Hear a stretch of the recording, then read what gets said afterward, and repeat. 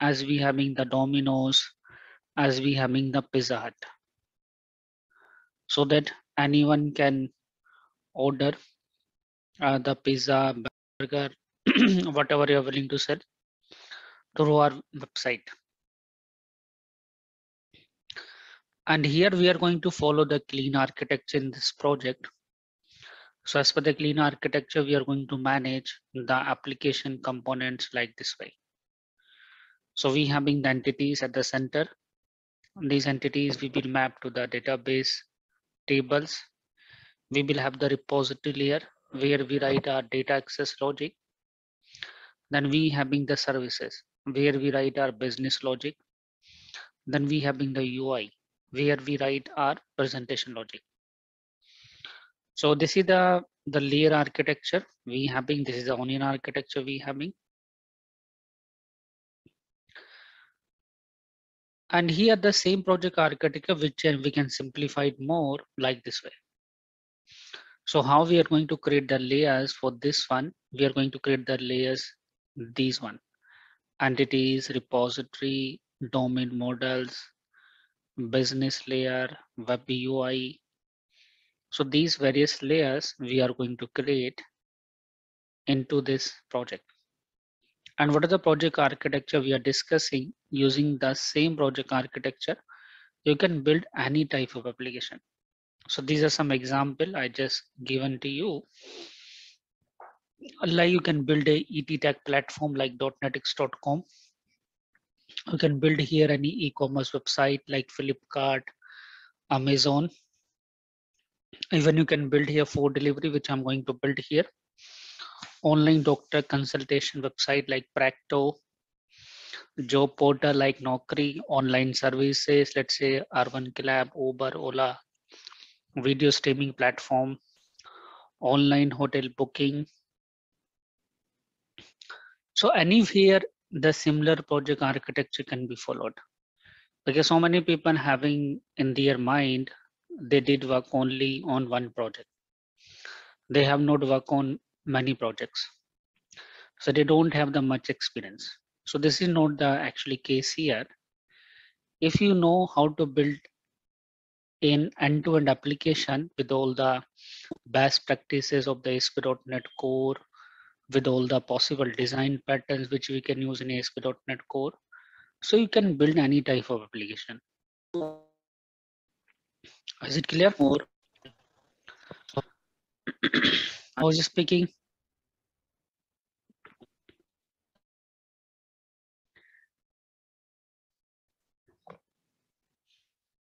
Okay, so let's create here the project layers I just mentioned in this picture in this diagram.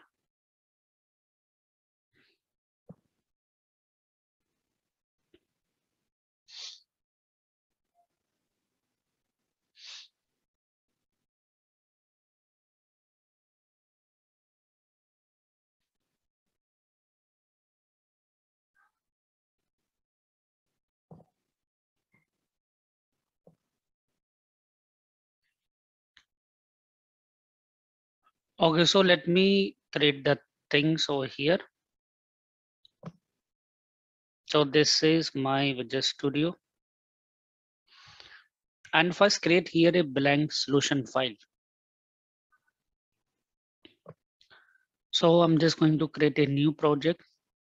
Let's make a search for solution file.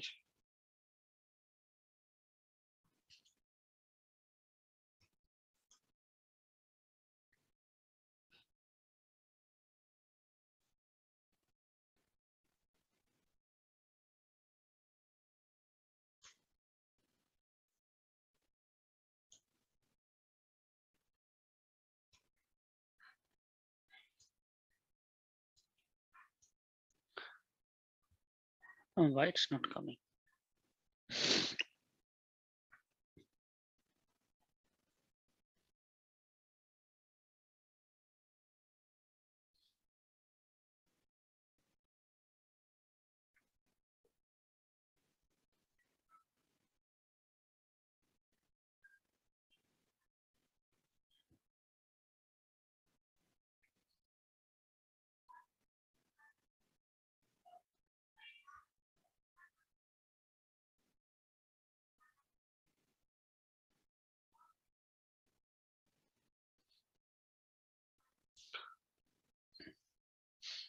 Blank solution, it's not coming here.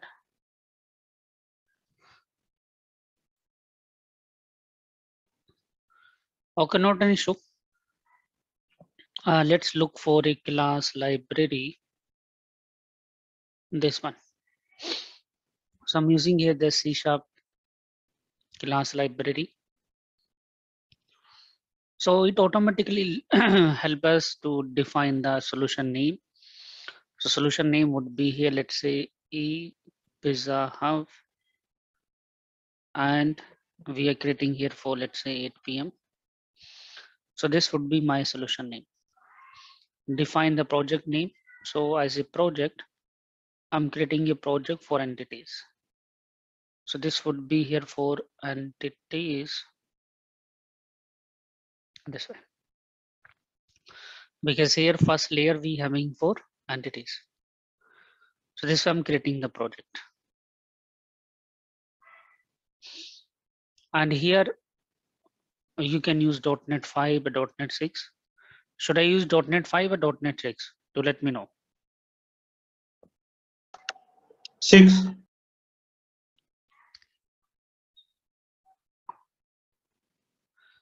But for using the 6, make sure you have to install Visual Studio 2022. Then only you can use this one. Otherwise, you will not able to use this one.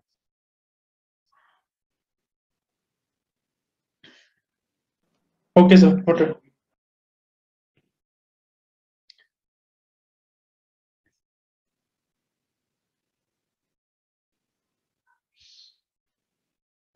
Okay.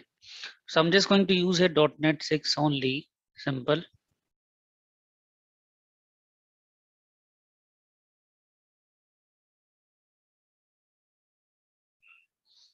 So I'm using here this .NET 6.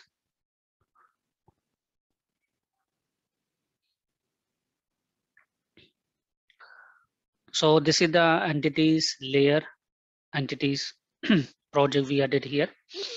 Let me first add all the layers, then we do the other things. Now similar way, let me add here one more layer for models. I'm adding here a one more class library, new project, same class library that is here. A Pizza Hub dot models. Mm, .NET 6. So this one we added here for models.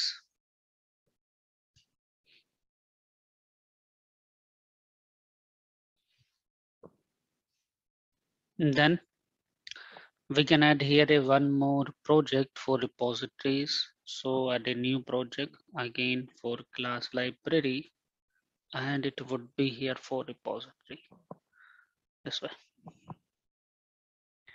Let's say repositories.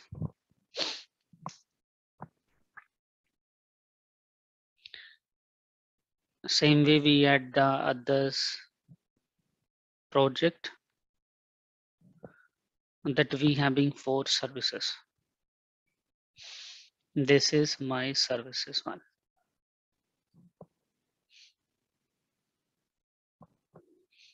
So if you're looking at here, we added the entities, repository, models, services, then web UI. So I did one more project that would be here for web UI. It is MVC template. So it would be here UI, let's say UI. So .NET 6 HTTPS. Now let's click on the create button. So these are the projects layers we have created. Even in the real life as well, we do the same thing. I'm right. So let us start here with entities. So for entities, we are going to create here some tables. So what are various tables we are going to create? We are going to create these many tables in our database. So if you're looking at here, this database table diagram, we can divide here into two sections. So we having here mainly two things. This is related to the ASP.NET Core, the right hand side. This is the tables as per the ASP.NET Core. ASP.NET Core. And these are the tables here which we are going to use to store the other information in the database. So ASP.NET Core identity we are going to use here to implement the login, sign up and sign out workflow. So in ASP.NET Core identity, we having these tables. So we having here ASP.NET roles table where we store roles information. Here we store user information and what are the user, what are the roles a user is containing. So those roles we define over here. So these three tables are important in this picture for the login, sign up and sign out functionality. This is user table. This is role table. This is the mapping table where we mapping the user ID with the role ID. We having here other tables as well. This is about a ASP.NET user lo logins table, which is going to use when we are implementing the login from the Facebook, Twitter and Google. So here it's going to store the provider key for the login. This is about the token. What are the user token we are going to maintain based upon the provider key. Here we can mention the user token. This is about the user claims. What are the various claims value we having for a users we can store over there. So claim it just like we having, you know, the Aadhaar card and the PAN card in India. Based upon that, you can claim your identity. Similar way, a user identity, how you are going to claim. So it can be here, let's say the user claim mobile number. It can be, let's say, date of birth. So these are the some user claims to identify the user identity. Similar way, we having the role claims here. How the roles we are going to claim. So role can be here, let's say admin user, it can be here and user. So for that purpose, we can define the claim. Let's say admin will be responsible for doing some administrative activity and user would be uh, they responsible for doing only simple end user activity. Let's say user is just browsing it, just purchasing something. So based upon that requirement, we can define the claims here. So here mainly you need to focus only these three tables which I told you here, user, roles, and this table. These are important table over there. So do you have any query regarding these tables structure and everything? Now good to go ahead.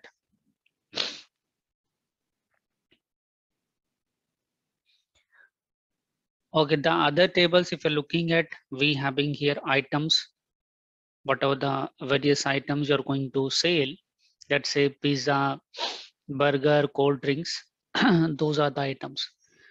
Then we having the item type. It can be here, let's say veg, non-veg item type category. In category, it would be here burger, pizza, or drinks. So these are the categories over there. So what are the items we are displaying to the end user? Those items the end user can enter the shopping cart. This is the cart, cart items. And for a cart, the user will do the payment. So where that payment information we store, we store that payment info information in this table. So I will show the way, sorry, how we can integrate the payment gateway. So as a payment gateway, we will use here Razorpay. So Razorpay payment detail, we will store in this payment table. And this payment having a status, if payment is confirmed here, we will place the order. So that order information we're going to store over there. And when the order, uh, when the user is doing the payment, that time we take the user address as well. So that at this given address, we will deliver the pizza and we will deliver the burger over there.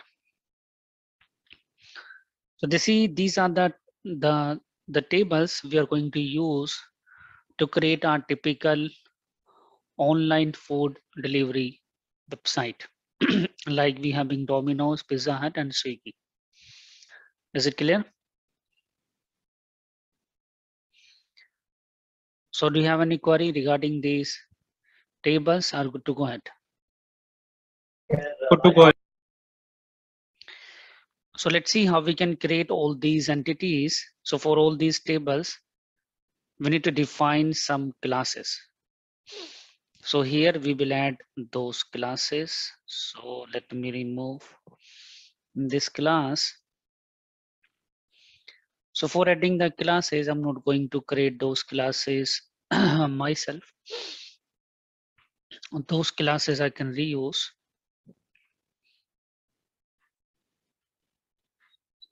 So I'm already having classes. I'm putting here this way. So I just shown the picture similar way we having here item class with these properties. We having here category, we having here cart item, we having here order. So these are the classes containing the properties. And here we are using the ASP.NET Core identity. So when it is coming to the ASP.NET Core identity, so ASP.NET Core identity actually helping us to support these functionalities. So here it automatically provides us the user and the role entity. So same we are doing here, there is a user and role class we created where we are inheriting the identity user. So identity user is a part of this Microsoft ASP.NET Core Identity NuGet package. So I'm not using the built-in ASP.NET Core Identity. I'm doing some customization so that I can able to add my own columns to the ASP.NET user table and ASP.NET roles table. So here I'm adding this extra column which is not available in identity user. So to use the ASP.NET Core Identity, make sure you have installed a NuGet package that I'm going to install here for ASP.NET Core Identity. Entity Framework Core, because we are using it with Entity Framework Core. So make sure you have downloaded Entity Framework Core. And we are downloading here all the 6.0 because we are using the .NET 6 for building the code. So this one I'm downloading.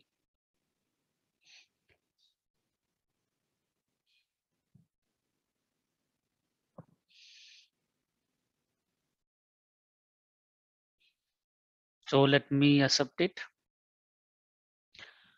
So we added here, as soon as we added it automatically add all the necessary namespaces over here without an issue this way.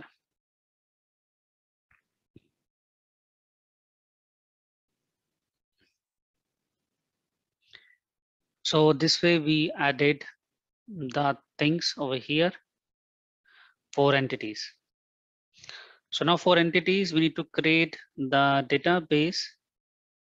So where we define the database things, so database thing we define here in this repositories. So let me add the project reference here of the entities project reference I'm adding here.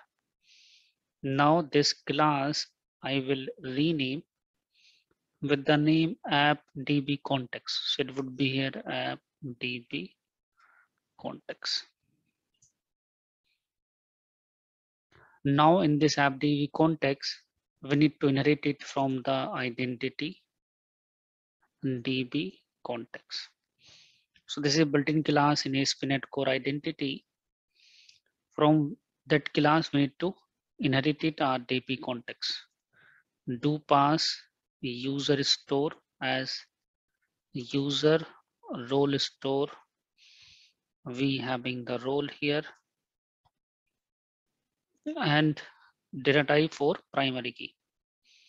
So primary key data type is integer. This way you need to add it. Now here just add all these entities using DB set.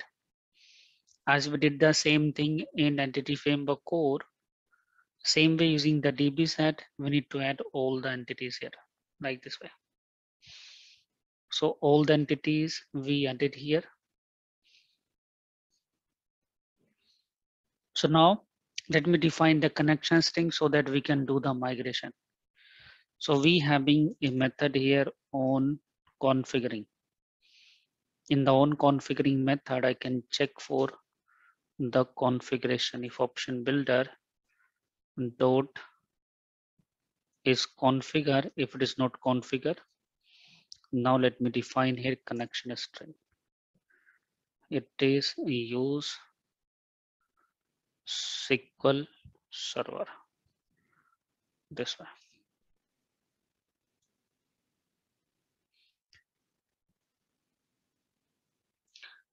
And here let me pass the connection string. So connection string as per my system, I'm going to define it.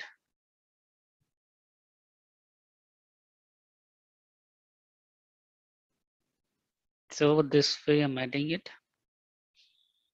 Define the database name, let's say e pizza hub 8 p.m. This is my database name. Now install the other NuGet packages here. So we having the entity framework core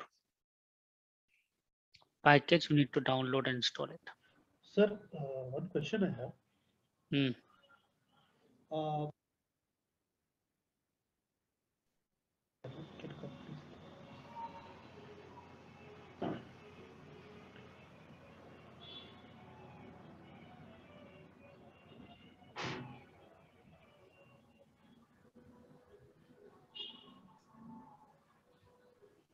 So this one I'm installing the package.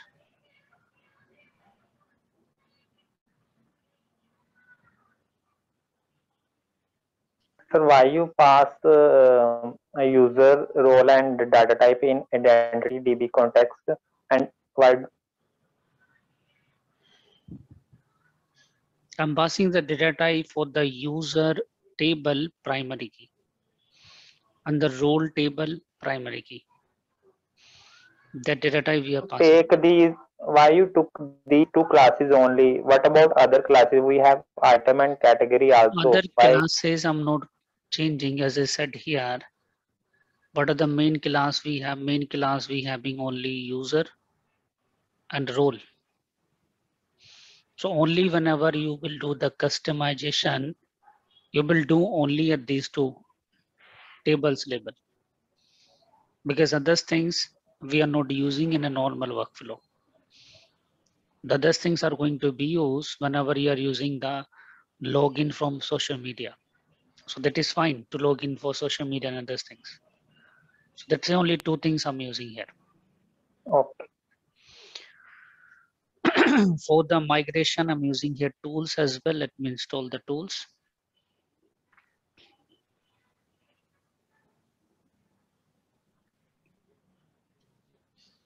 Sir, one question I have, that is, can come to AppDB context? Uh, sir, here based on on configuring, why do we have to do this? Because we have overridden on configuring. This is not required to add, it's optional. If you want to add, you can add it, otherwise you can skip it. Base means whatever the default setting we having the base class, I want to apply those also.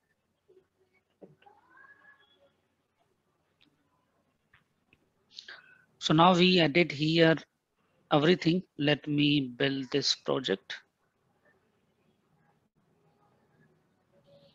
So it is building fine. We don't have any error.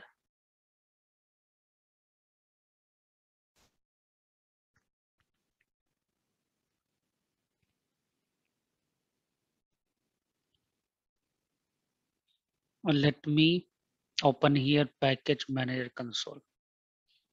So from here I can open the package manager console. And here let me select repositories as a starter project. Here also I'm selecting the repository as a starter project. Now run the command. add this migration, then migration name is initial. So we are doing the migration here.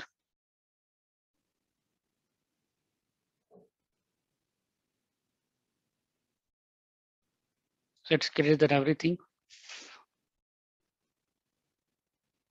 So before running the next command to make sure everything is generated as per our requirement, this way create table, user role, card categories, item type, orders, payment details. So everything is looking fine to us. okay. Now run the next command. So next command uh, we having here for creating the database. That is um, date dash database.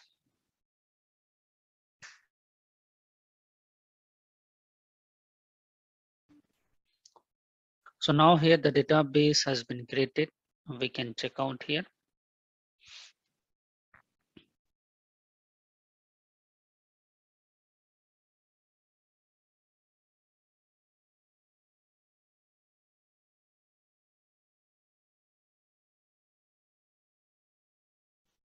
So this is my SQL Server Management Studio. And here I'm having EDTech 8 p.m. No it's pizza 8 p.m. Uh, so this is the database has been generated. Okay.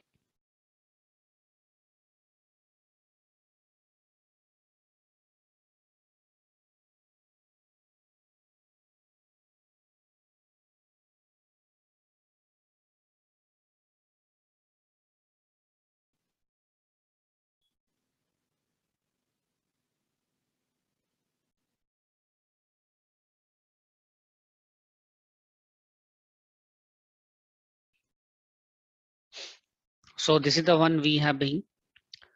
And to implement the login workflow and the sign up workflow, let me add here some users. Sorry, roles. So roles I'm adding here, let's say administrator is a role I'm adding here for admin. Normalized name is admin here, currency we can add here. Even I'm having a seed data method which can be used to generate everything over there. So that we don't need to put anything so it is here and user and user role. Any number? So make sure whenever you will set up in your local machine you are doing the same thing. And actually here we are going to build a website for like Domino's. So for Domino's, we are going to have items. This is the menu here. In the menu, these are the, uh, let's say these are the items we having like this way. So as per these items, we are just going to order them. I think it is dominos.co.in. Go for the dot com.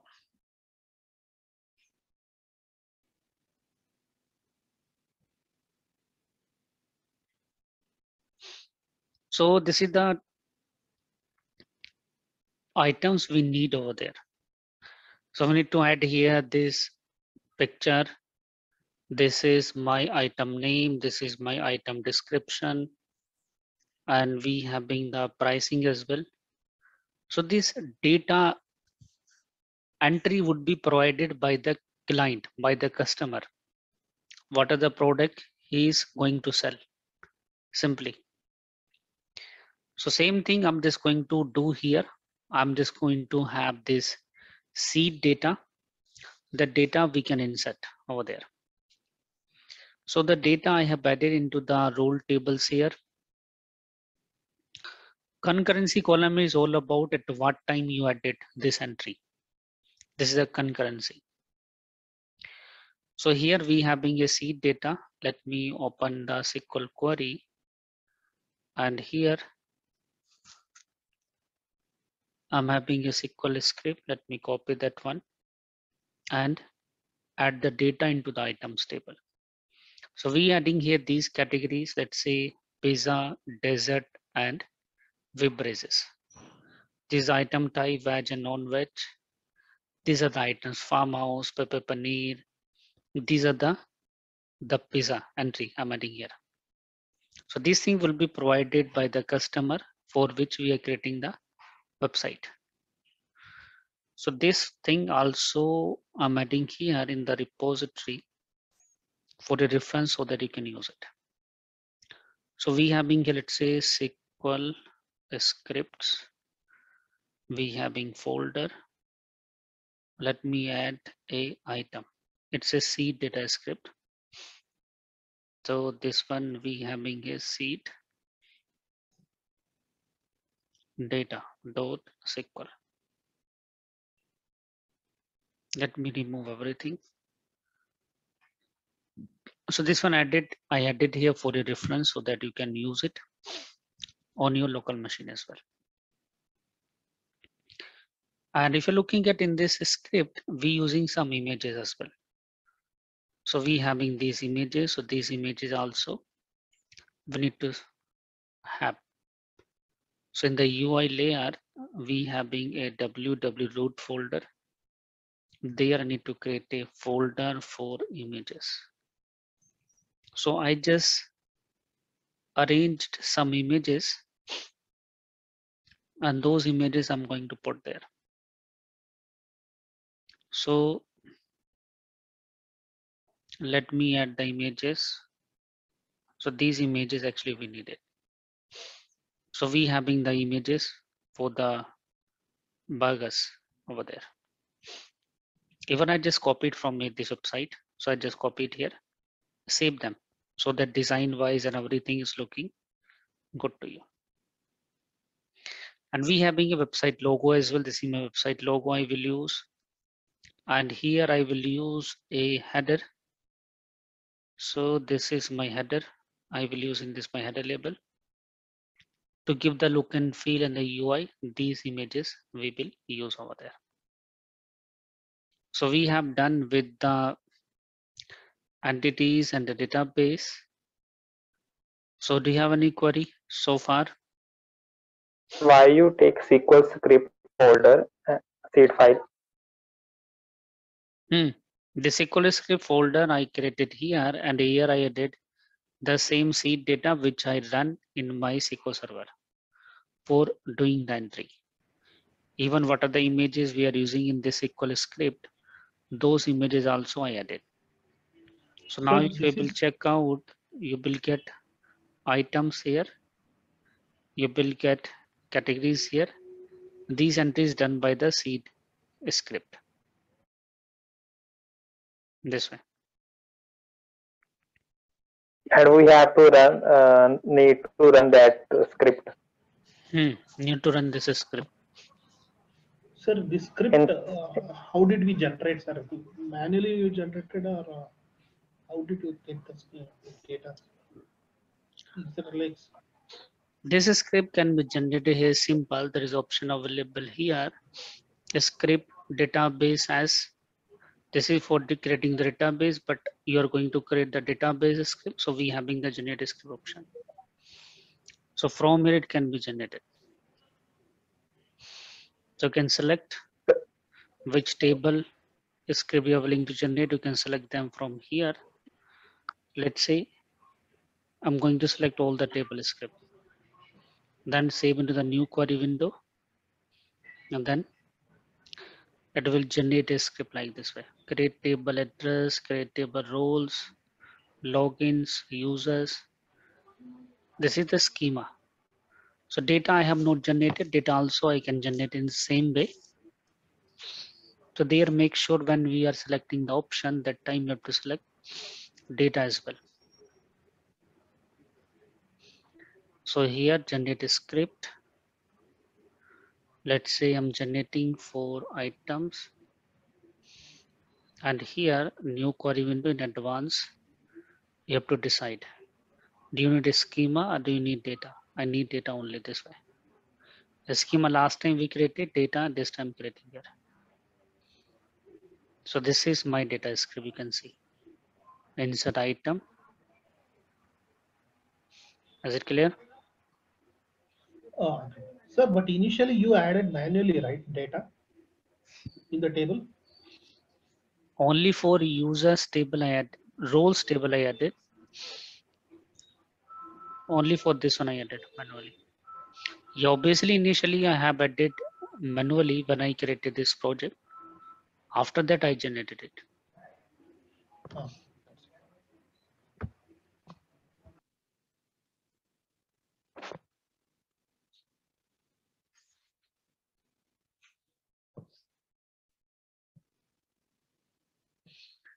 So now here we did with the database part as well. So now here what I'm going to do here, I'm just going to write the code for login. So for login, we are using here ASP.NET Core Identity. And in ASP.NET Core Identity, we having the managers. So we having here user manager, role manager, and sign in manager. Using these managers, we can write the code to complete the login workflow, to complete the sign up workflow and sign out workflow. So that code I will write here in my services layer. Okay. So here in the services, I will add a folder for interfaces. So this is my interfaces folder. And in the interfaces, I will add it for IAuth service. I'm adding a interface for IAuth service. This is IAuth service I'm adding. And it should be here public. And here I will define some methods. so I will define a method to create a user, to authenticate user and to do sign out. So let's say I'm creating here, I'm defining a method, create a user. And so how we can create the user? We can create the user by passing the user detail. So user a string, it would be password. And from where this user will come?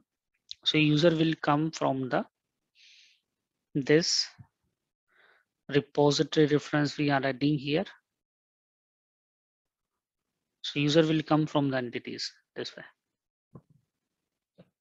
Similarly, we will have a method for sign out boolean. It would be here sign out. We will have a method to authenticate user. Authenticate user where we will pass username and password a string username and a string we having password. This way. So these three methods we needed one for creating means sign up another one for authentication means login. This is for sign out. So this method we will implement so let me remove this class add a folder for implementation.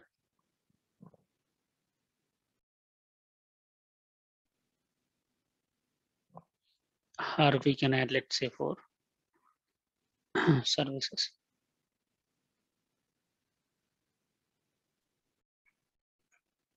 So let me add here a service with the name auth service. It is auth service. Let's make it public and implement the interface IAuth service. This way. So we we implemented it here. And the authentication service code will be write using the user manager and sign in manager.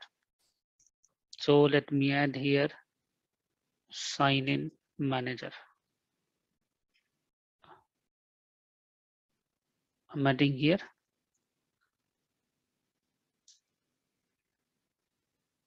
Sign in manager. Add the this package also. A Microsoft ASP.NET Core Identity package here we need to install. So here in the service, make sure we added the reference of repository, it's fine. Let me install a package for ASP.NET Core Identity. So this package, I'm just going to install it.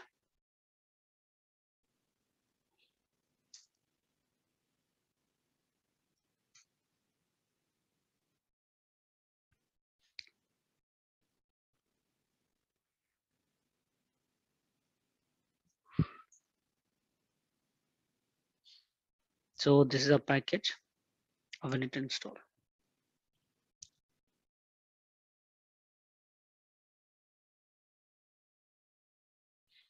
Now we can use this sign in manager.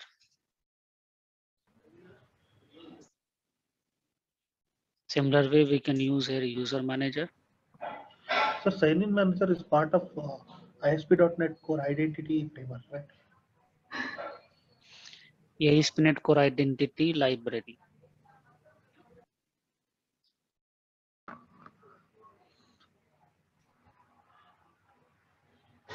Let me use here dependency injection to initialize the value for sign-in manager and user manager. This way.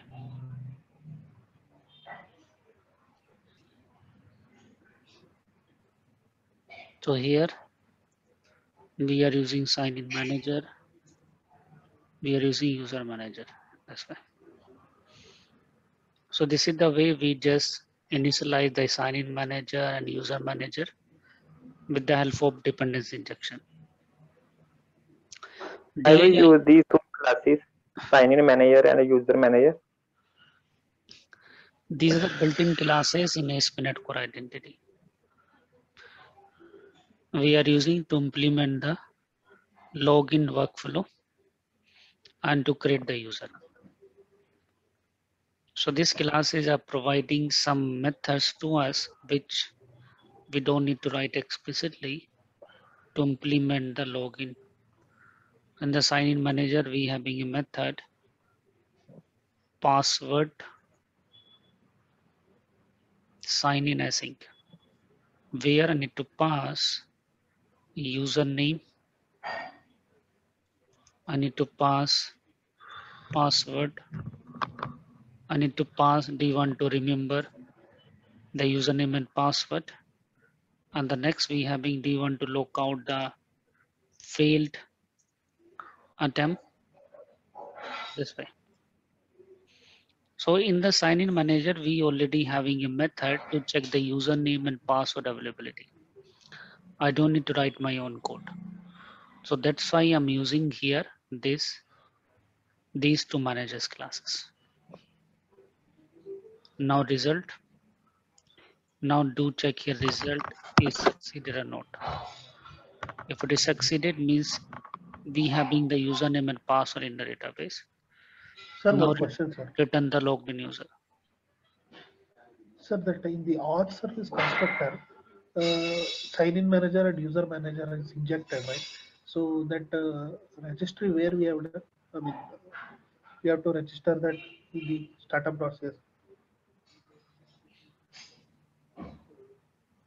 This one I will define. So these are the built-in classes. Okay, so that setting I will do. I have not done.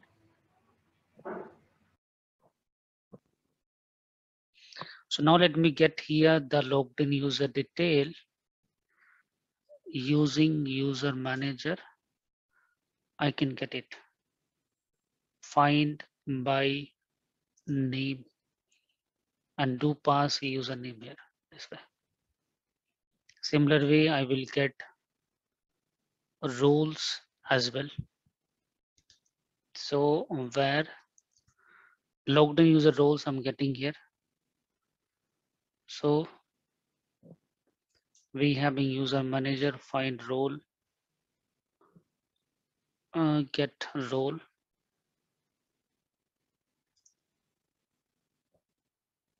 async. So bypassing the user, I can get that user role this way. And finally return the user, return this user.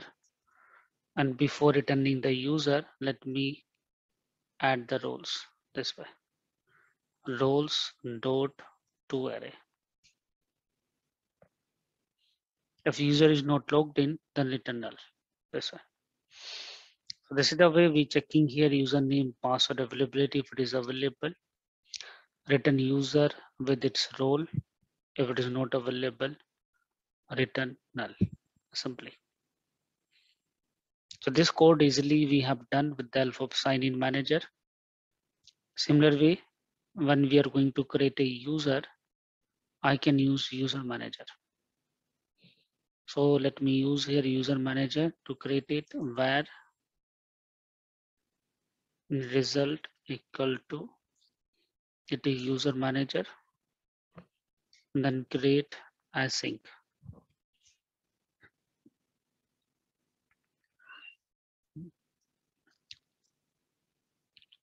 Sorry, this way. Let me check out if result is succeeded or not. If it is succeeded, now assign the role to the user. so let me assign the role as well. So do one thing. Now Let me pass here a parameter for role. So I'm having a where response which I'm creating for user manager. It is here add to role async. Do pass user and role this way. If return succeeded. So whether it's true and false, based upon that we are returning. And finally, if things are not fine, return false this way. So this is the way we are going to create a user. This is for adding the user into ASP.NET user table. Then this is for assigning the role to the created user. So what role I'm assigning? The role name I will pass from the UI or when I will call this method, that time I will pass it. So let me pass here a one parameter as well, role this way. Now similar way we can write the code for sign out as well. So I'm using here, let's say try catch because while sign out there can be any exception as well. So I'm using here sign in manager then we having sign out async. And let's wait for to do the sign out then return true else return false return false this way so we have completed the code here for login user creation that is for sign up and for sign out. All the method we have completed. So do you have any query regarding this authentication service we have created? Sir, uh, can you please come to sign out? Sir, what actually happens when we create sign out, sir? Uh, if the user has username and password is there, then it will uh, log into the application, right? Then uh, sign out, how does it happen? sir? When user will log in, it will create a cookie at the browser end. So in sign out, what we do, we clear that cookie. and that cookie is stored in client machine or Mm, machine.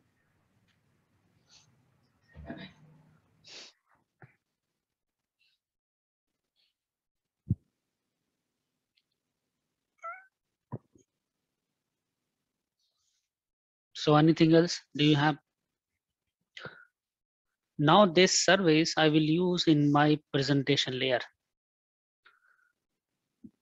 to complete the login workflow and sign up workflow. So we having this UI. Let me add here account controller. So I'm adding here a controller for account this way.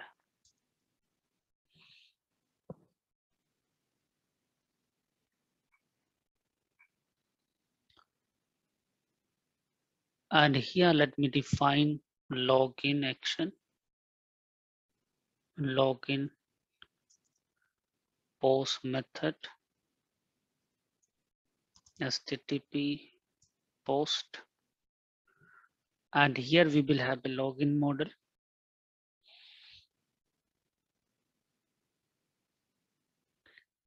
So let me add here a login model class where we will have username and password. So I'm adding here a login model class. And for login model, let me add two properties, username and password. Let's say this way, we added it.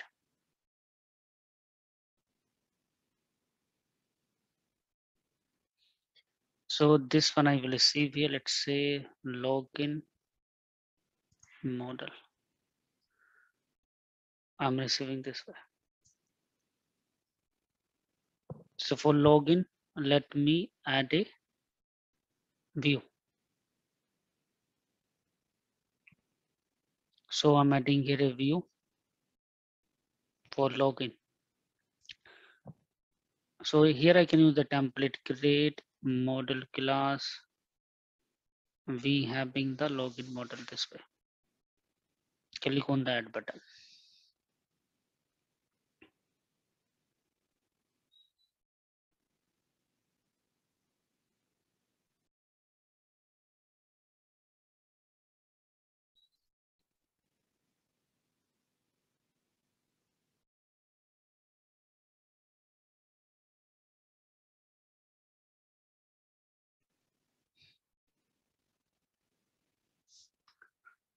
So this is my login.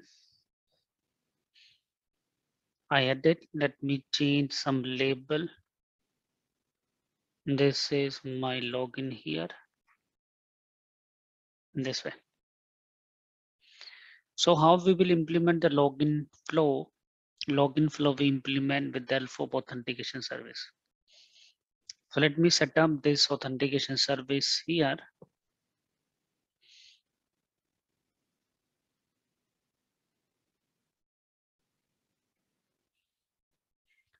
So what happens here in program.cs file, actually in .NET 6, they have changed few things. The one thing they change it here, they have removed the startup.cs file. And what are the code we write in startup.cs file, they move to the program.cs file. So if you're looking at at .NET 5, or if you're comparing this configuration with the .NET 5, so this code is here similar to the configure configure service method.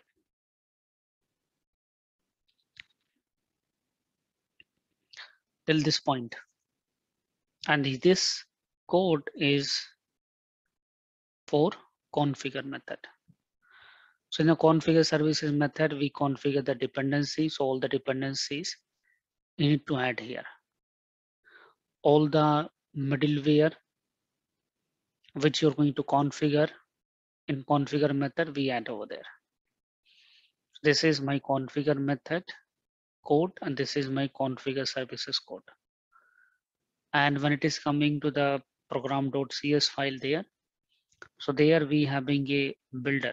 This is the host builder we are creating and we are calling this run method. So from this builder, we creating the app variable and this app variable we are running finally. So this is the code we having the from program.cs file.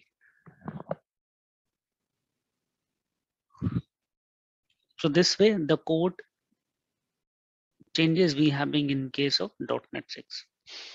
So do you have any query regarding this setup?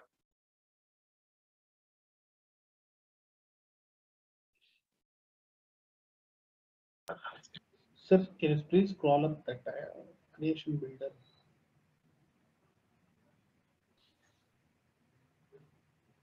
So the create builder will create an object of which class of uh, uh, configure service, configure. Which object it will return?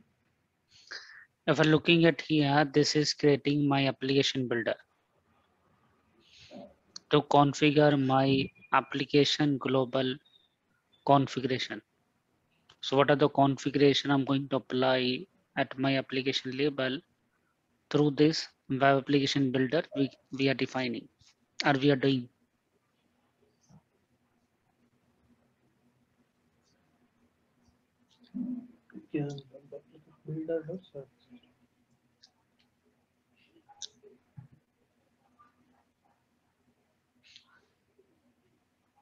That's why I'm saying here, the, the setting here is similar to configure service method.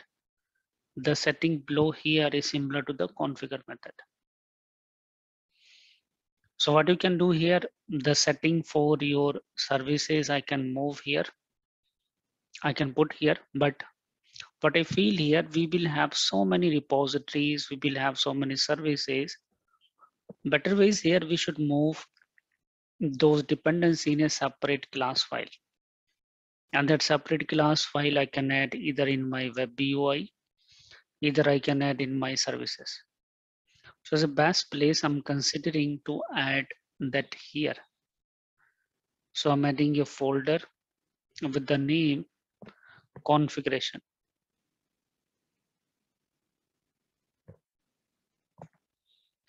And in this configure folder, I will add a static class to configure dependencies. Let's say configure dependencies.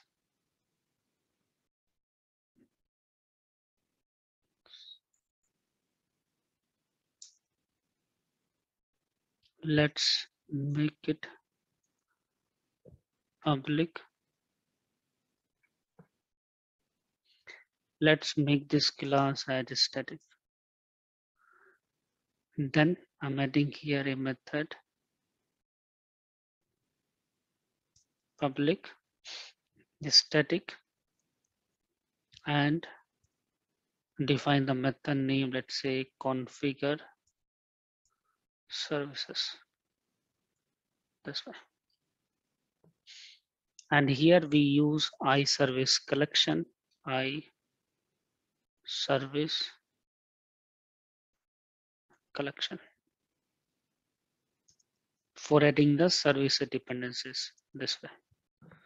Then we will have here i configuration to get the configuration setting. So let me add the namespace for this So here first I will add here database setting. How? Services dot add DB context. So what is my DB context? My DB context is app DB context. Then do pass here connection string. So first of all add DB context, then connection string. So from where we read the connection string, we read the connection string from map app settings.json. So here I will define my connection string. Connection string name, let's say DB connection. Then connection string value. So as we having the value here, I can copy and put it here this way.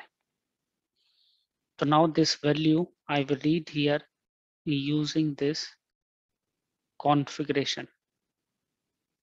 It's an option that connection string I will pass options dot use SQL server.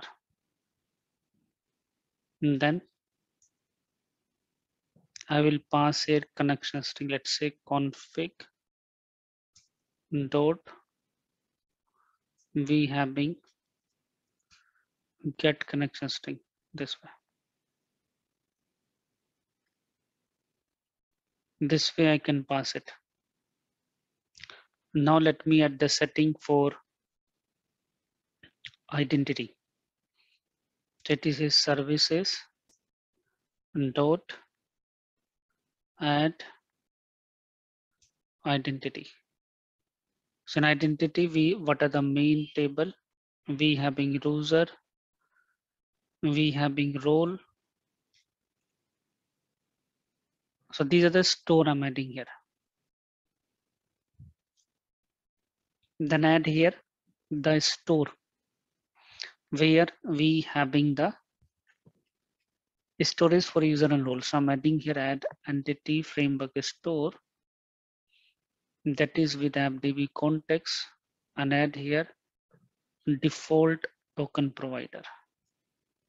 It is default token providers.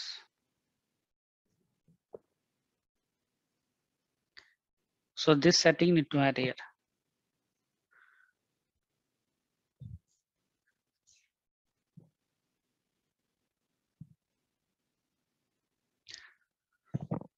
Okay, it is at default token provider. This way. So this setting need to add here for database. Now let me add the mapping for services. So services mapping services dot add scope and for a scope it would be here i auth service. And then auth service. This way. So mapping of the interface and classes we define here. Like this way the above line services dot identity there, right? That will register what? Uh, uh, AppDB context, right? this will add here the identity store as i said here in this one we have a store user store and role store so that is store for the ASP.NET Core identity we are registering here like this way so just store i'm using here entity framework core so that entity framework store i'm using here with this default token provider so there's a setting we having here for ASP.NET Core Identity so that we can access these managers, user manager, role in manager, sign in manager as a DI. So that's why these are the services we are accessing here. Here. Sign in manager, user manager. So this setting we define here. Oh, it will basically register the store, right? Hmm. Register the store as well as managers. What is inside the store? Store means the place where you are saving this information. So what is the place? It is a database and the database we are interacting with entity framework core. Okay, And all the interfaces and uh, service we have to register here with the add scope method. Hmm. The dependency we need to register like this way. About the DI, I will tell you in the next session what is the DI and how it is working. so few code I'm not explaining today. Code I will explain in the next session. Sir, one more question. That app.db context services dot add.db context is for DI, registering app.db context. We have used on configuring method, right? There we have given the connection string. Then why do we have to give here also? That connection. Connection string we have not, we will not use from the hard code one. Connection string always recommended to read from your setting file. So from here I will read the connection string. Uh, sir, the app. That connection string, that connection string I'm using only for development environment for generating the database. In the production one, the connection string will be used from here, not from the hard code one. So that's why we are defining the connection string here.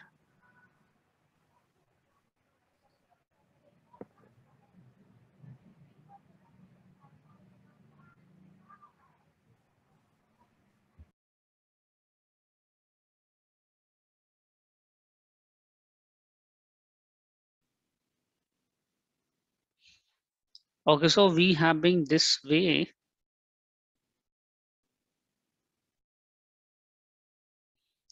Configure dependencies we now did here. Now we use this class in my program.cs file. So but here, I will call that one. So this is here configure dependencies. And for using the configure dependencies, let me add the reference of services. Add reference of services. This way. Now add the namespace at top level. Now I'm using here configure services and do pass builder dot services and do pass. Mm, builder dot configuration. This way these parameter we have passed we pass the services. We pass the configuration so that we can access them here. So what are the things? Actually i need to write here in my program.cs file, I move to a separate class file so that here we will keep changing the things. We don't need to change at the program file again and again. Simple. And for ASP.NET Core Identity, make sure we are using here, we use authentication as well. Otherwise, we will not able to read the logged in user information. So this is a setting you need to do here for ASP.NET Core Identity.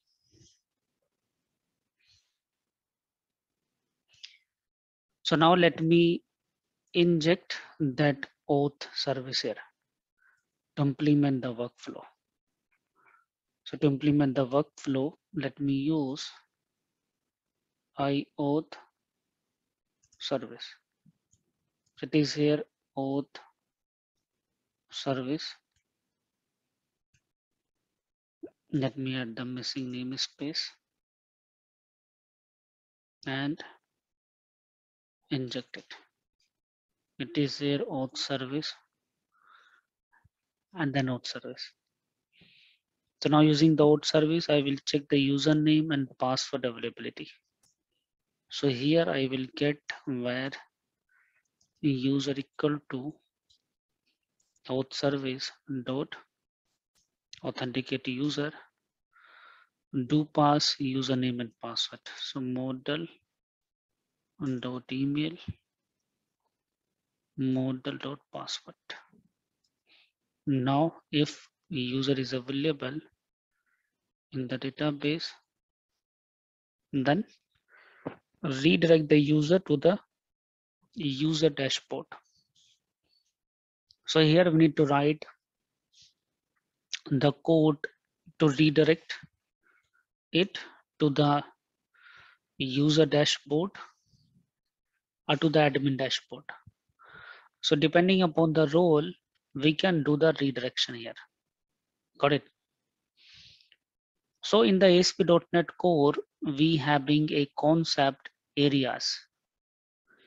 So with the help of areas, we can create the modules in our application. So right now everything is public, like anyone can access without login. But when it is coming to protect the pages or create the uh, modules, we create the areas here. So let me add a folder for areas. And in the areas folder, I will add the area for admin. I will add the area for user. So I'm adding here a area for admin. So make sure whenever you are creating the area, folder name is exactly same areas, which you have to add yourself. After that, you will get the option for adding the area. Otherwise, you will not get the option to add the area until you will not add the areas folder here. Now this is the end point. You need to copy and add it here in this in program.cs file. So this endpoint I'm adding here this way.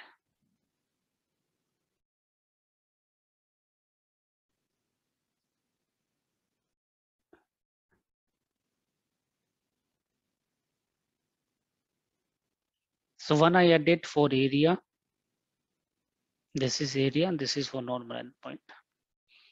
So this way we added the endpoint for area as well here. Mm, This way.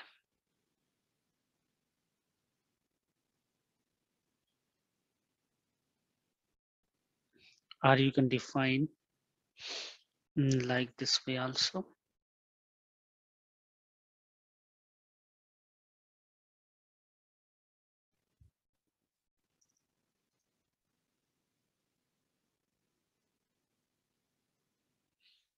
Instead of creating two separate method, I added it one.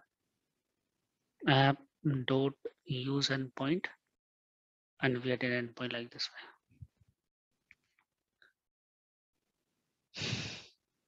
So this is fine here now. So now you can see admin having its own controller, models, views. So actually the area in itself is a separate website that is having its separate controller, its separate model, separate views. So everything the area will have separately.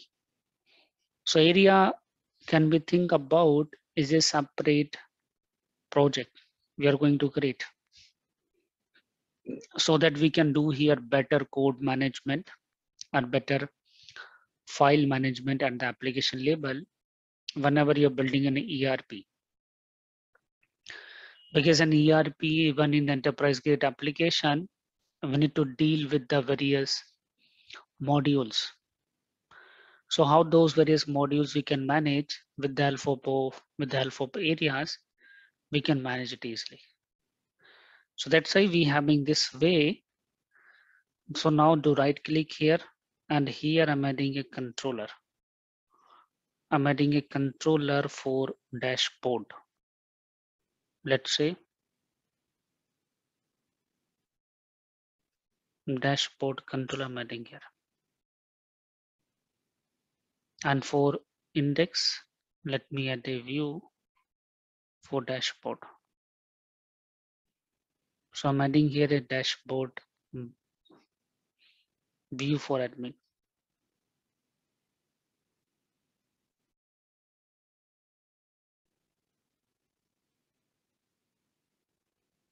So let's say this is my admin dashboard. And here at area label, one more thing we need to do here, we need to use here area attribute. Define area name like this way admin. So in your application, what are the controllers you will add? At each controller labels, I need to define area attribute this way. So instead of adding at each controller label, better ways here, we can add a base controller. So I'm adding here a base controller over here. I'm adding base controller. Means parent class I'm adding.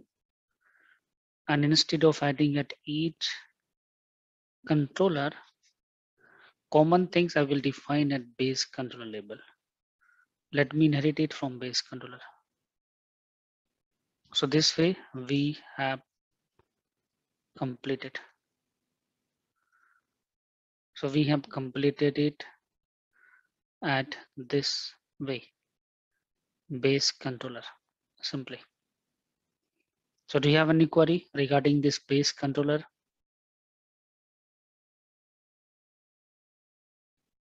What is the meaning of area admin you have defined above the base controller?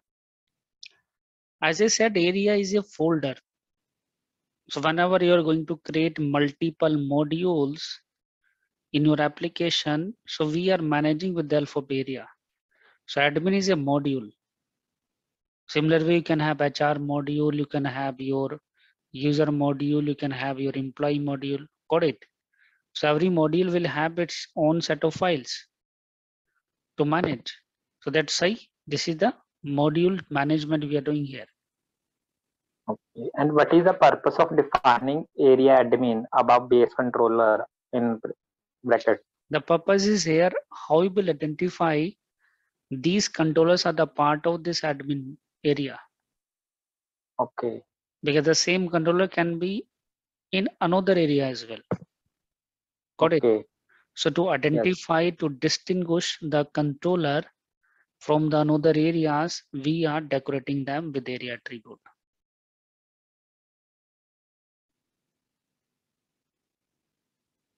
Hello. Hmm. Uh, uh, I have one question on that. Uh, the may maybe uh, apply on the multiple area in the one controller. No, it, there can be only one area. Okay. And in uh, I inherit the in the base class of the another uh, controller, and the maybe is area is required uh, to face in the same model. So it's possible on that? Yeah. Base controller is just like a base class. So what are the things we having in common? At area label, we can define over there. Let's say I can create here a global property for logged in user to access the logged in user detail as current user. So it would be more clear when I will keep adding the code into the base controller into the UI. Right now, just think about all the common things we add here in this base controller. Okay, understood. Similar way, here we don't have layout as we having the layout here. So let me copy this shared folder and these files and put here so that we can have the admin layout separately. So in the admin layout, we will have the link for dashboard. So let me remove the area from here. So it is here, let's say dashboard.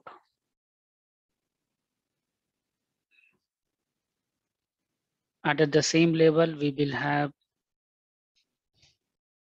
order. Right now, we don't have that, uh, but later on we will have the order where we see my orders. my orders. So I will have a order controller as well. This way. Okay, it's admin one, so admin label, it would be here all orders.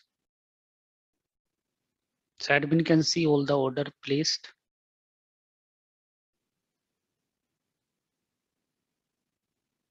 So let me add here order.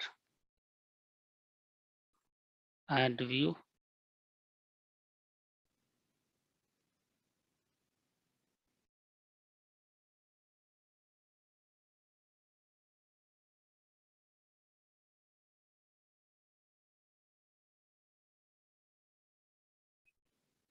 So this is my order list. So order controller also make sure we have been edited from base controller this way. So this way how it is working. Order dashboard. So it's having a separate website we are doing here.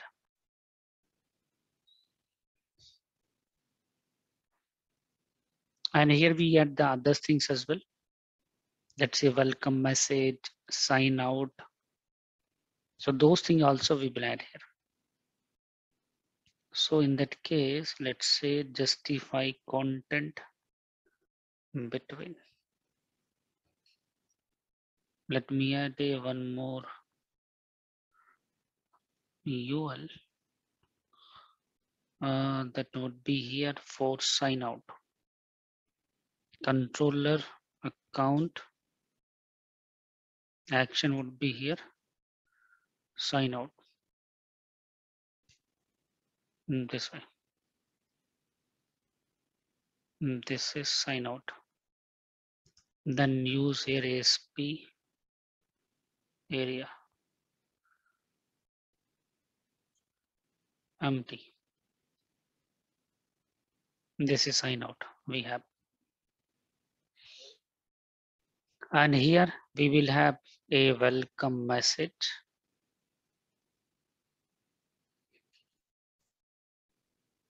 It is welcome. This i will change later on. I did here only guest. This is my welcome message. This is for sign out. We having the things simply. One question like, uh, what does that ASP area here? asp area is here if you're looking at we having controllers here inside the area and outside the area. So whenever you're accessing the controller outside the area, we mention ASP area empty. Whenever you are accessing inside the area, we mention that area name. So Okay. here I'm not defining area name explicitly because I'm already the part of the admin area. Okay, okay.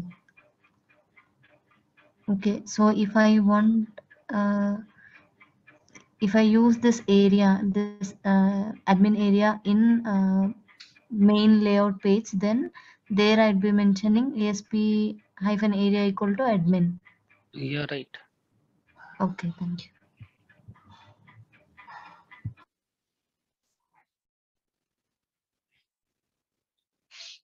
So there's a mapping of the controller from where you are going to access it.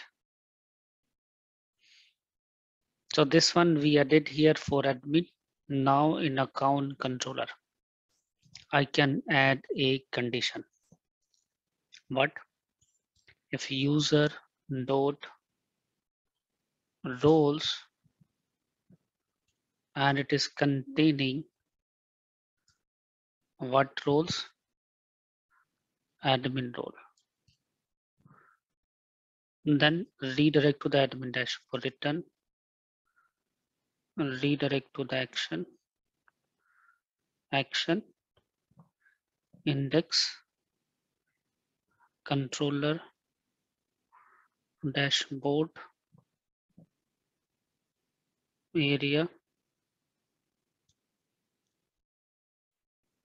Admin. Similar way, we having a condition for user. So user area we have not added so far.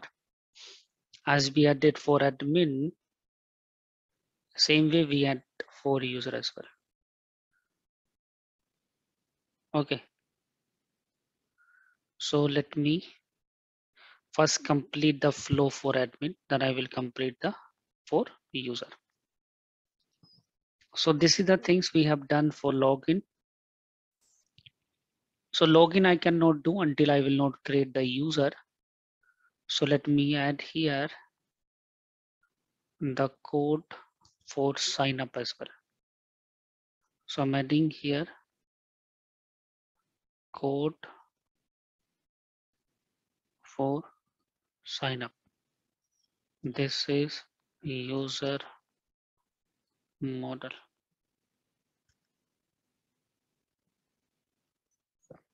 So let me add here the user model here. It's class user model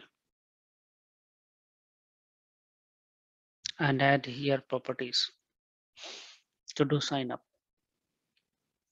So these are the properties we needed here to do sign up. I added here. Now let me add view. Its template create model class. We will have user model.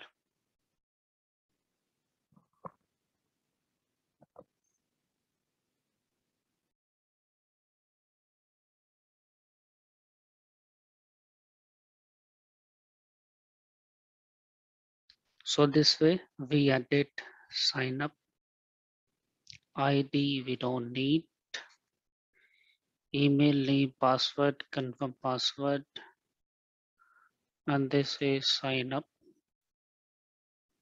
And this one we don't need.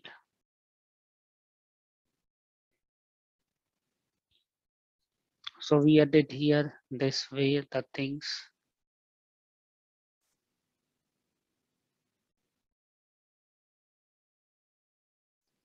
So let me add here the link as well to connect these pages. So we having another list. It is account. Then login. Then account sign up. So this way we having here login and sign up. Sir, from where you input the roles, From where? uh, we input roles. Where we import im- role we getting from the database. Okay, from UI we don't have to insert the roles. No, at the sign up one, I will do it. Sign up Okay. code I have not completed. Okay, okay.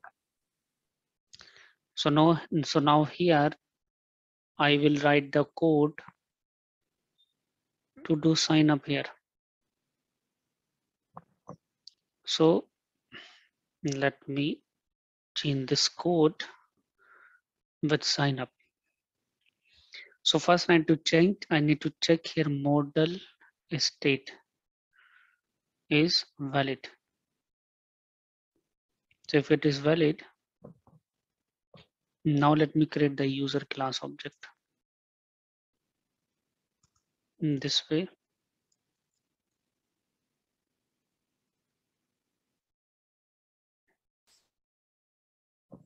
Now create the properties here. This way. Now using the authentication service, we can create the user. So I'm creating here boolean result Then this is my auth service. Call create user method. Do pass user and pass password. So password is here model mm, dot password. And what role you are going to give to the user? So first I'm creating the admin user, so I'm assigning the role admin. Now do check here if result is true. So redirect to the action login because user has been created successfully. So go to the login page.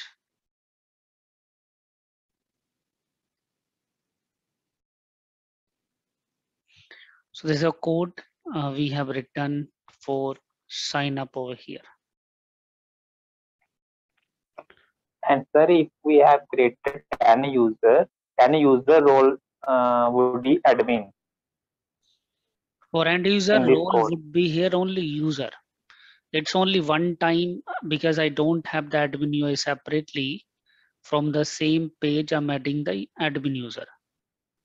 Okay. So later on, I will change it from admin to normal user role. Okay.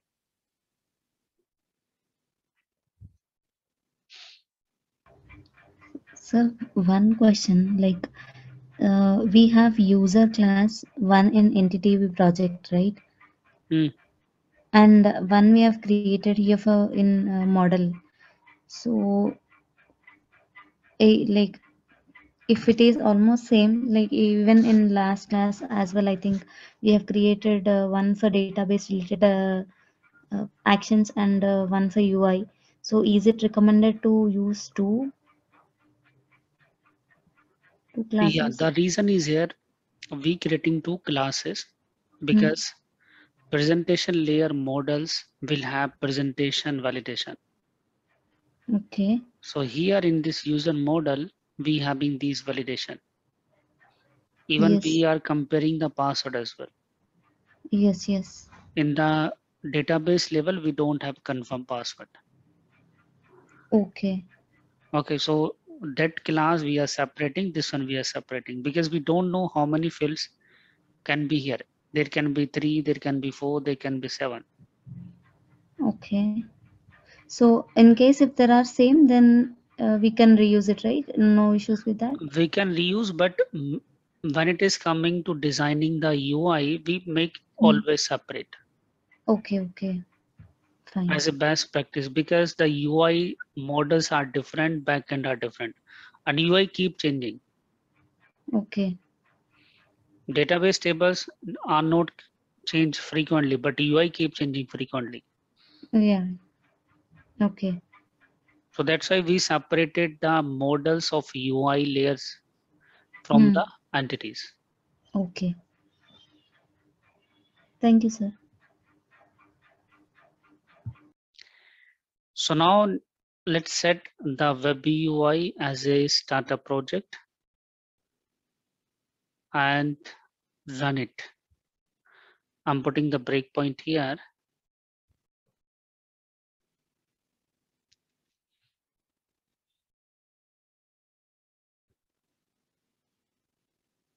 So what is the error?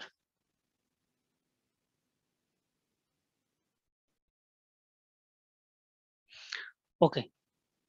The thing is the app DB context I have not changed to take the connection string from the configuration. So this I'm adding here for migration purpose. And we need to add two constructor, one default, one parameterize for configuring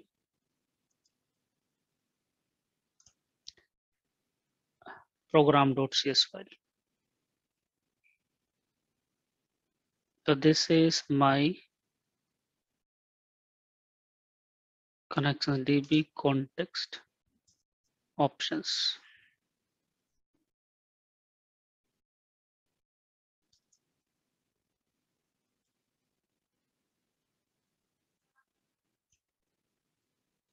In this way. So this one is required if you are setting the connection string from app settings.json.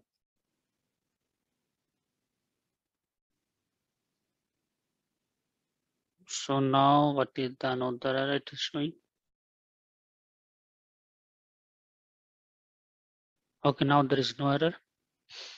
So let's go to here, login, sign up page. This is my sign up page. Do pass your email, let's say admin at the rate gmail.com. Password admin at the rate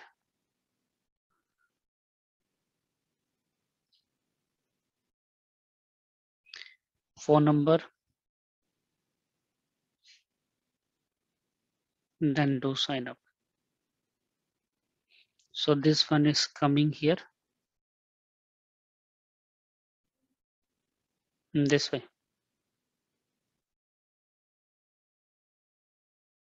Then role we are assigning to admin. It's done. So now a user has been created in the database admin. And this created user we have assigned the role as well. User id 1 having the role id 1 so one admin we created after creating the admin let me change my account controller to do sign up only user. Because admin sign up we don't have direct only user sign up we have. This user sign up we added here simply.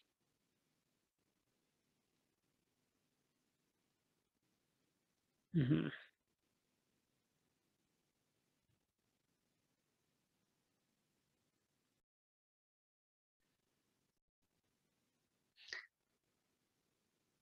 So now let me sign up again. This time I'm using user.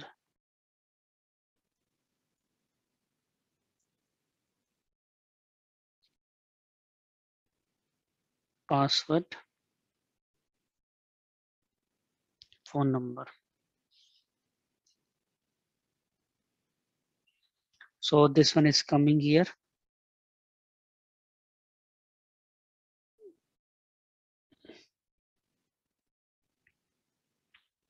So role this time is coming user. And one more thing you have noticed in .NET 6, in .NET 6, whether you are doing the change in the CS file, whether you are doing the change in the CSHTML file, this hot reload features is helping us to update the build. We don't need to restart it. In .NET 5, the issue was every time if you're doing any change to the CSHTML to the C sharp file, I need to restart my application. But here you don't need to restart. Here we having a hot reload features, which I enable hot reload on file save. So hot reload means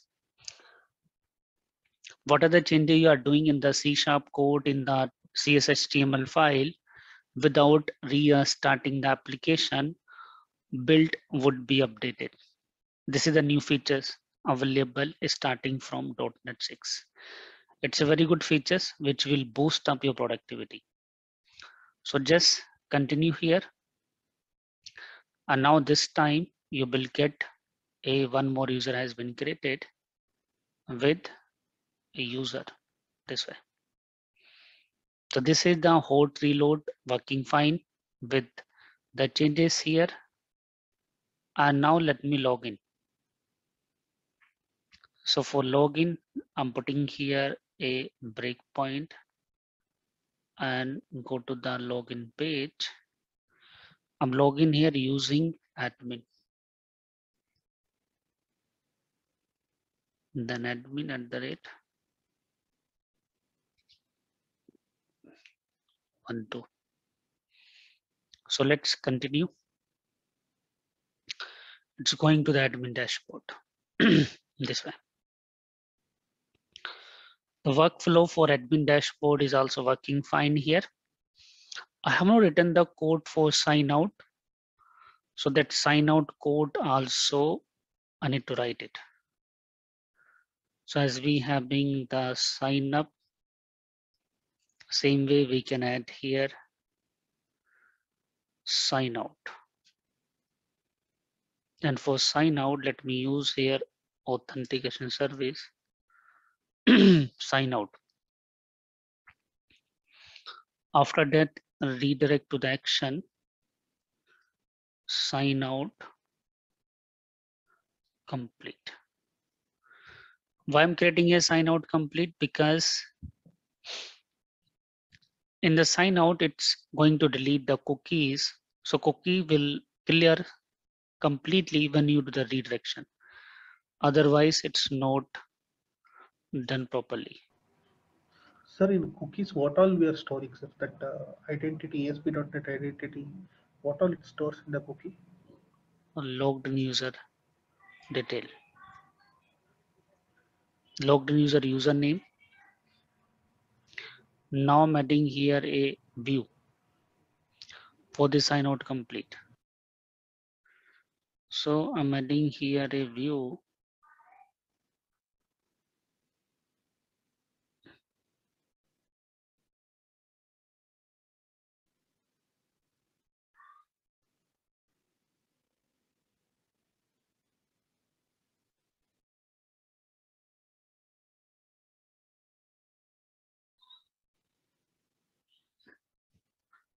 So you have been successfully sign out in this way. So this is for sign out. We added here and do the change for login as well. It is here input type password. Same thing do mention for sign up as well. So this is my sign up in this way. So let's see how it is working.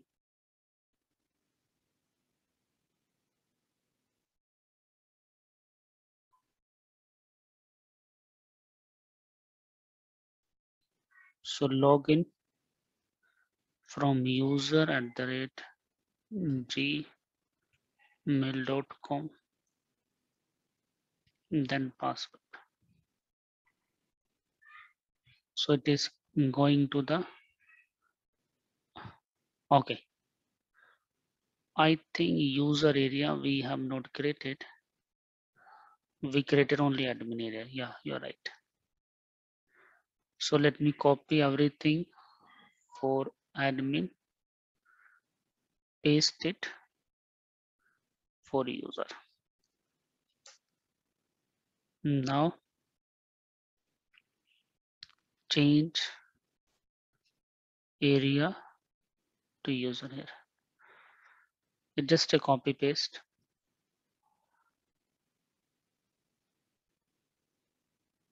This way we added.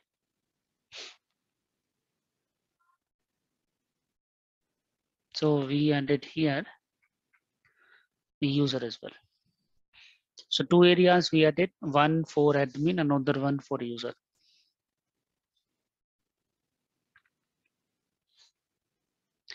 So now you can log in for user as well. So user at the rate gmail.com, then password.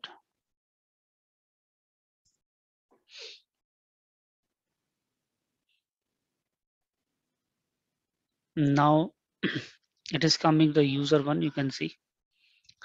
Label I have not changed, it's a label issue. So here at user dashboard, it is user dashboard. Now reloaded, it is a dashboard. This is the new thing we having in .NET 6. It's a hot reload features. Sign out. It's coming to you have been signed out successfully. So this workflow is working fine for sign out, for login, for the sign up. So do you have any query regarding this workflow?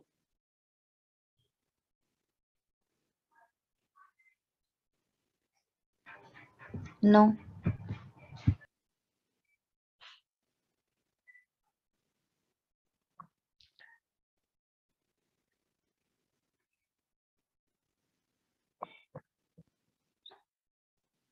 Okay. So let's do one thing. Let's have a, a break of 10 minutes. After that, I will tell you the next things. So few UI changes we will do here after the break so that it will look like fine. Is it fine? Yes. Yes, sir.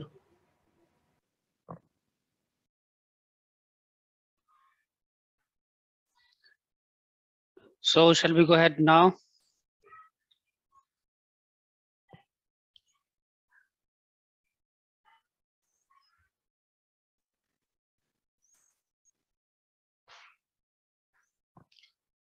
So let me do one thing here.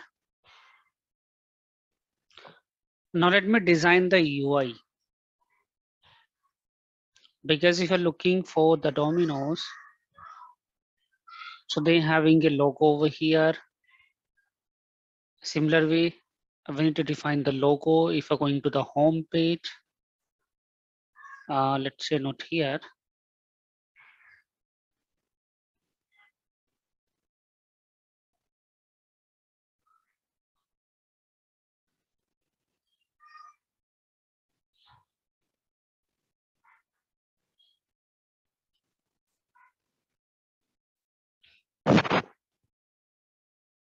So we having a header. So that header I'm just going to set. So this is my text. I will change the things over here.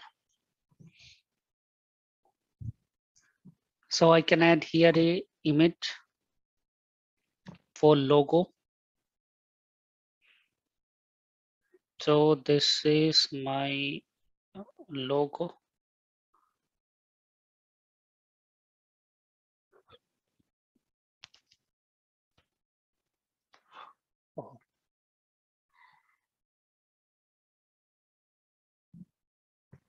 So this is the way I added here.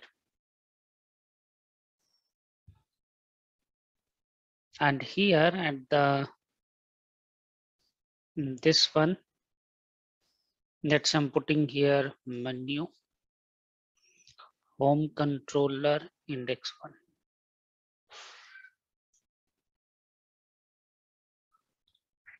And here also, uh, we need to define a section where we need to show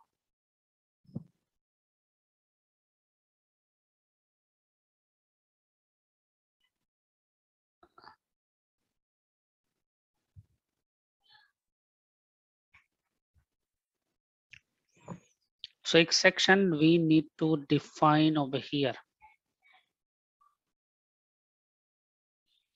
Okay, let me first change this logo and this site name.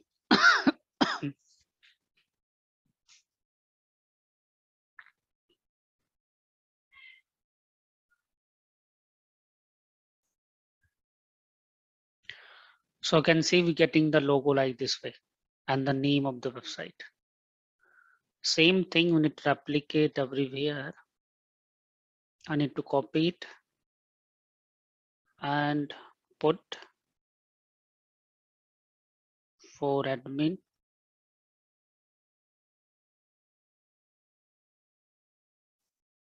like here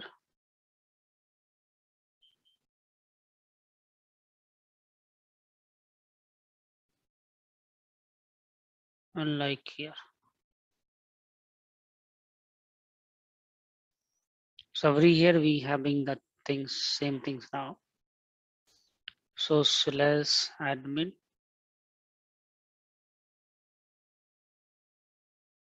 dashboard.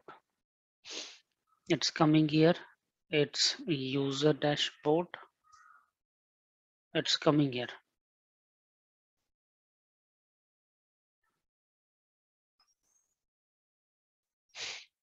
So perfectly, it's coming here now. This is my heading for website. So these are the UI changes we are doing here. And here I need the things at the index page, a note in the dashboard and the root level. So this section to replace by a section where we having a background image and the those things. So this design part actually taken care by the UI designer. As a developer, you will note in bold, but here I designed for you like this way. So it would be on the full screen. So it's not a full screen is coming into the center.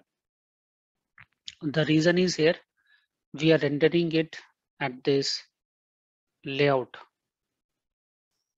inside this layout. So the thing is, we need a full size layout without container. So usually when we build the real application, we add multiple layout. So I'm adding here a one more layout. It's a full size layout I'm adding. So it's a razor layout. I'm adding here, let's say full size layout.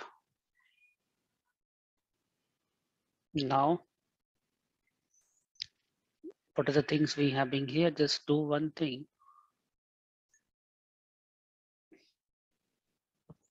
Let me create a partial view as well. So I'm creating a partial view for header so that header can be reused at more than one layout page.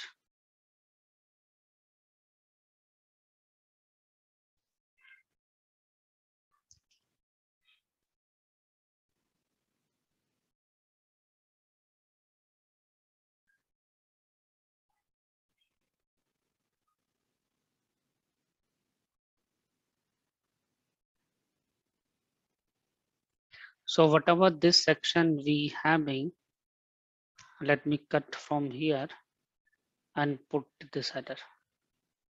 And this header I can render here using partial tag. It is name, then underscore header. Same thing need to add here for this full size as well. Add this style sheet. Add this footer as well.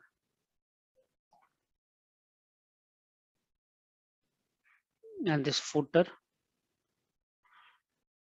I can define as a footer layout, as a footer partial view. So let me add here a footer partial this way. Same way it would be here. Footer layout full size layout. So now here at this index.html, I will mention layout equal to full size layout.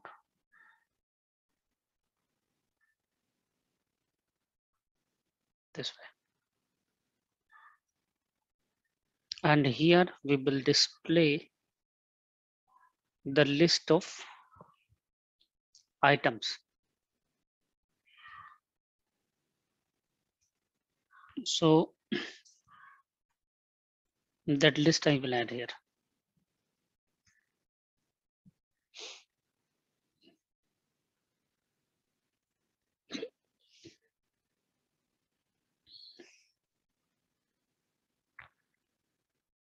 So this bit is coming, I think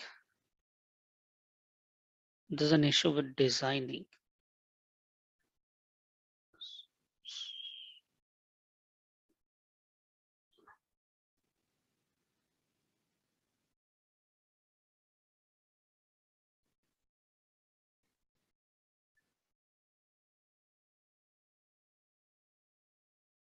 So now it is coming fine. This is the section it is coming over there this way. So now if we will display the list of product. One more thing it is still missing. There is a gap between header and this footer. So you can see this gap is actually coming because this CSS class. So let me let's do one thing from the header. Let me remove this CSS class.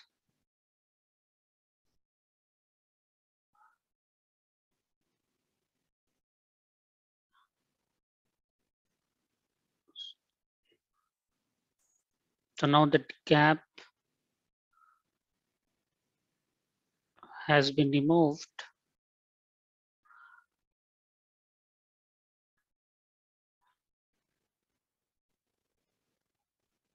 So now everything is working fine here.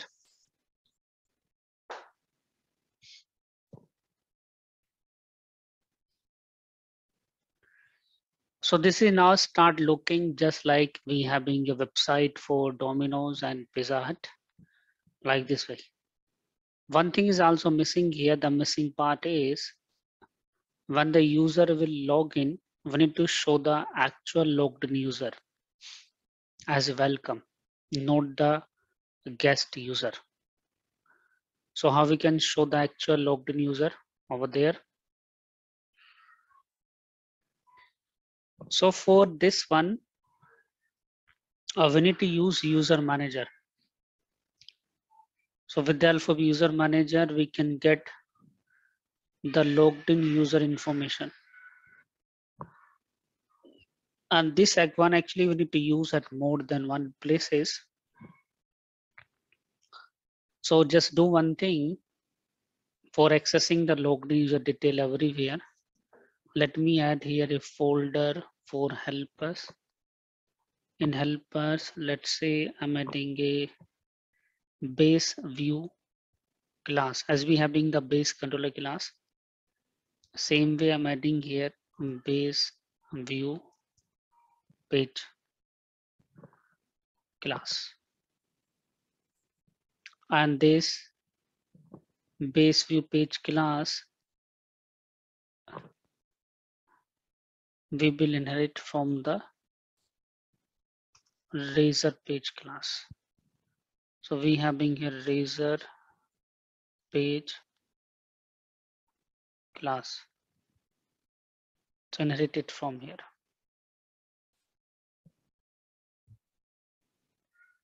In this way. And this is abstract class. So let's make this one as an abstract. Now we need to get the current user. I'm just going to add here a property for getting the current user.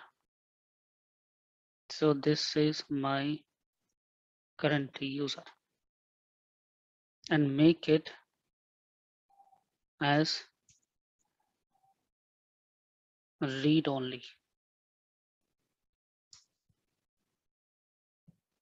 Here I will check whether the current user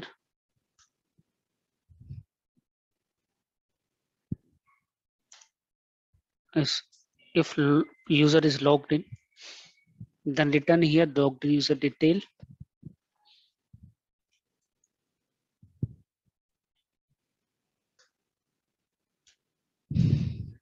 So for this one, what we can do here, we can create here a service. So do one thing here. I'm adding a folder for interfaces. Let me add an interface for accessing the logged user detail. I user accessor. And in our user accessor, let me define a method. A user get user detail.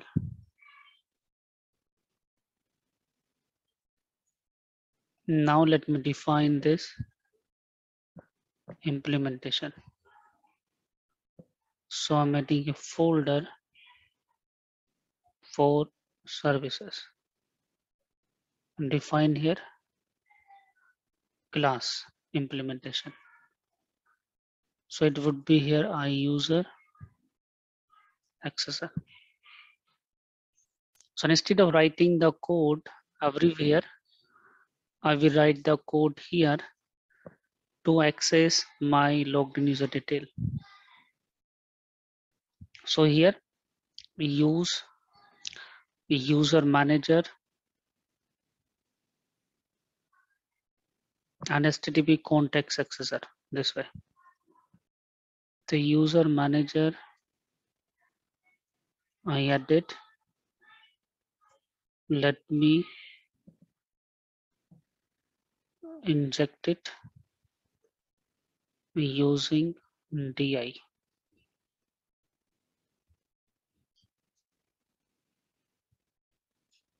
So it is user manager.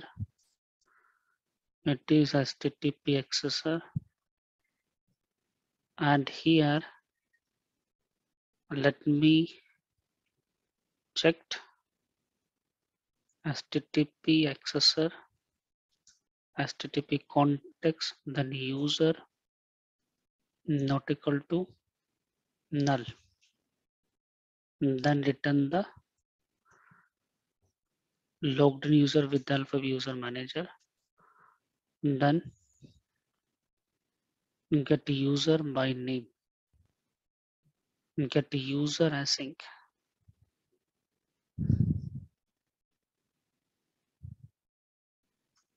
This way. Finally return the result. Else return null.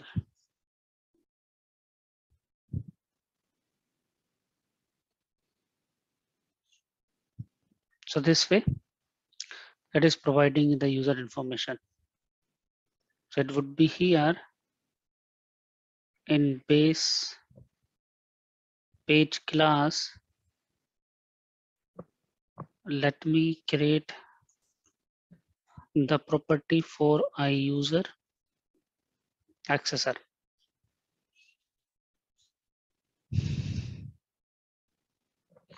So it is here user accessor. And here I'm using here dependency injection. So we having here razor inject. Razor inject is an attribute to inject the this user accessor.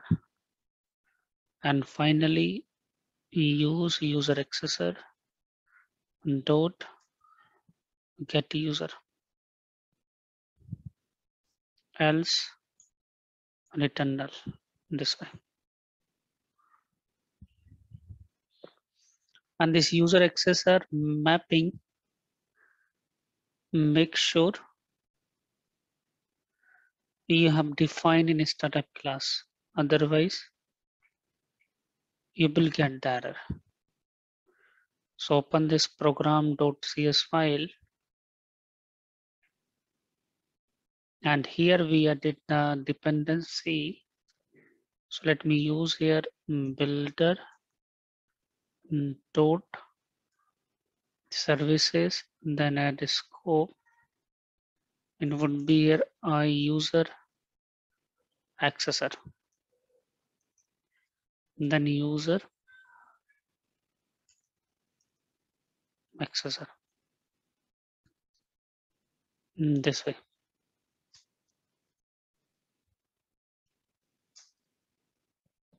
Same thing when you do here for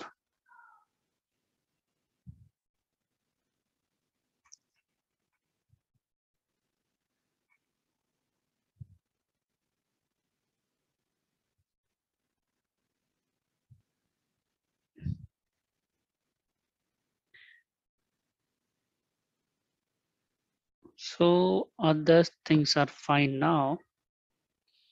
Okay. So now let's make this class as a base class. As we create the base controller, same way make this as a base class. How we can make? We having this underscore view import. Here I can use inherit. Base view page class where I'm using T model.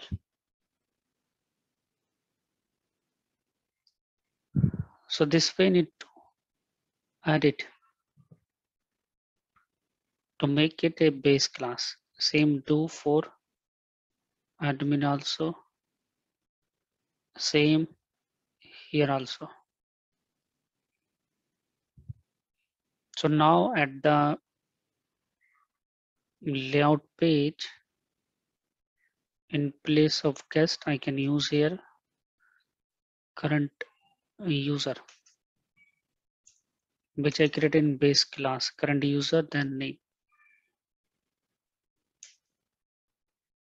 So logged in user name, now we will get it. Admin user here. Still, we have not applied the security. It's a simple workflow where after the login, login user detail we are showing. Security part I will show you in the next session. Today I'm showing you only simple workflow. So do login here. User enter it gmail.com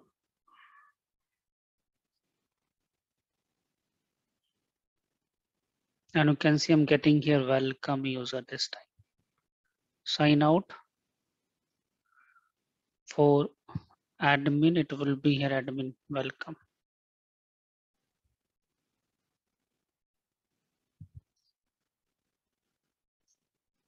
So click here, it's admin welcome. So everything's working fine here.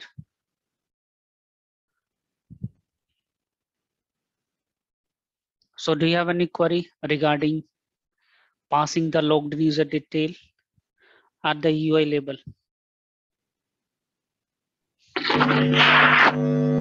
What is Razor inject, sir? Razor, Razor inject is an attribute in ASP.NET Core for dependency injection. So dependency injection, I will tell you in the next session how the DI is working here. So because of that D- DI, this one actually I'm injecting here using the Razor inject. Okay. And what is T model? T model is also a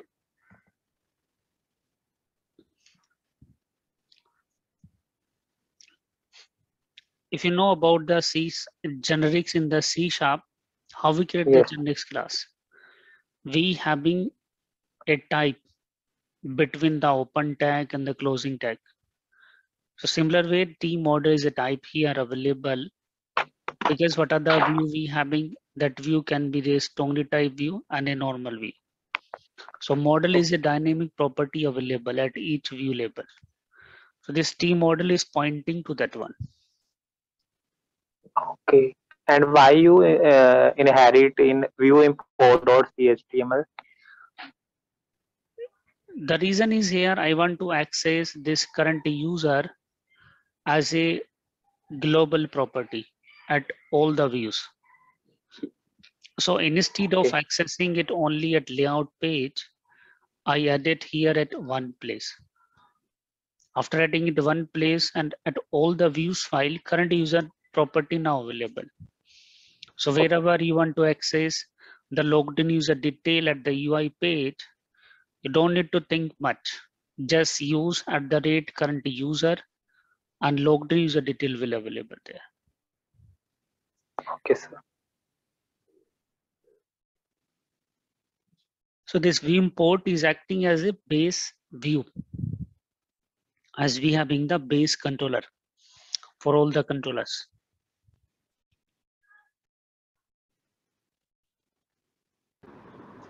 So like if we have many uh, areas, then we might need to import it in all the areas, right? Yeah, if you're willing to access the logged in user detail everywhere, Hmm. so everywhere need to add it. Even I did it in user area as well. I did in admin area as well. Even I added at the root level as well. Everywhere I did. Okay, like if we have added it in root level, can't we access it in areas No, and like some common place so that will be available? because area having the its own existence separately. Okay.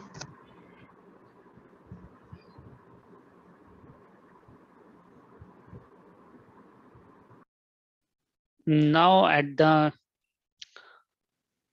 root label layout as well, same things can be added. If user is logged in, I can add a condition if let's say current user not equal to null, it means welcome. Show the welcome one, else show the login one. So if user is logged in, at the root label also it will let us know.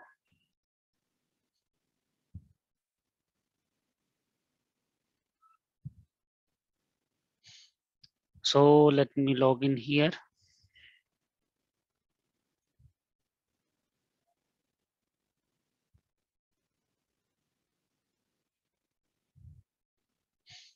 So now if it's coming to the home page here also I'm getting welcome user.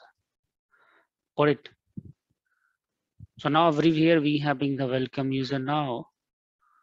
Now after logout, it's not coming. So logged in user information we passed across the controller, across the views as well. So that everywhere we can access it. And still we have not applied the security because admin can access the user pages even without login also. You can access the admin pages. So that security part uh, we will apply in the next session. Let's say how we can protect our pages so that without login, nobody can access admin pages and user pages.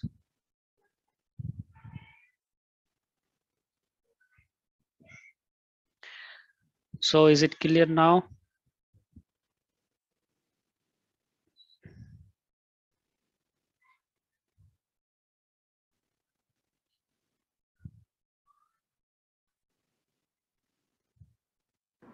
Yes, sir.